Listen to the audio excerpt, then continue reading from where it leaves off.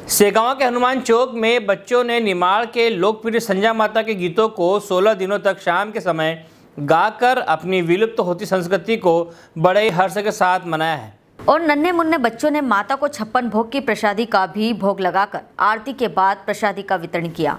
निमाड़ की पहचान को छोटे छोटे बच्चों के द्वारा परंपरागत रूप से जीवित रखने पर कॉलोनी के युवा समाज सेवी गणेश राठौड़ सचिन गुप्ता सौरभ सेन ने बच्चों का उत्साहवर्धन कर आभार प्रकट किया।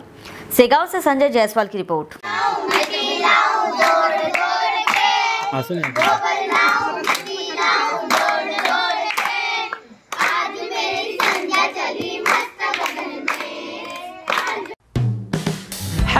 फ्रेंड्स आप देख रहे हैं, हमारा channel S W twenty four news हमारे सारे वीडियो सबसे पहले देखने के लिए आप हमारे चैनल को सब्सक्राइब करें और पास में लगे बेल आइकोन को दबाना बिल्कुल भी ना भूलें।